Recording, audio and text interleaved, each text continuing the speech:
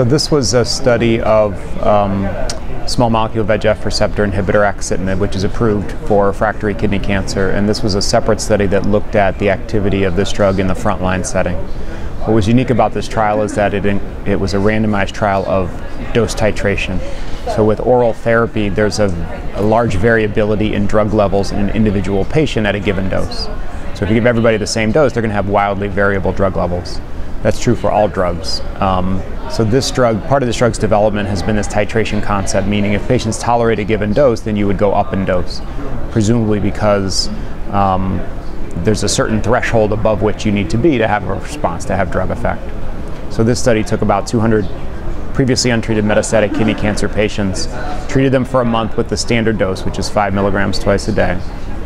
Um, about, and then there were certain criteria for being randomized to go up in dose or not, basically lack of uh, hypertension or other toxicity.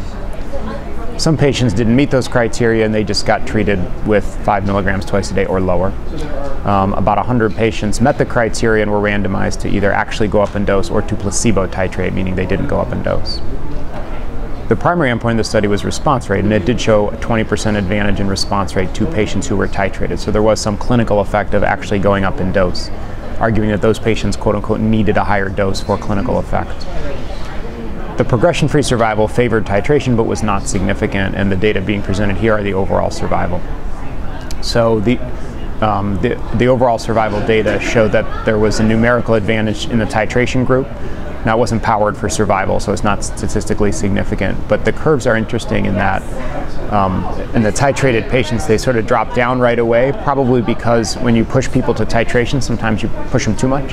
You give them toxicity and they have to come off therapy. So, what we've learned in this whole drug development of this particular agent is there's a there's a nuance. There's a lot of nuance and subtlety to finding the right dose of drug for patients. It's it's actually really hard to do.